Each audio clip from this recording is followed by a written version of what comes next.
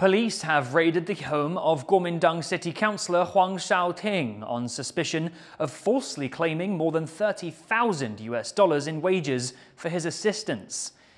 Prosecutors searched several locations and questioned 17 people in connection with the case.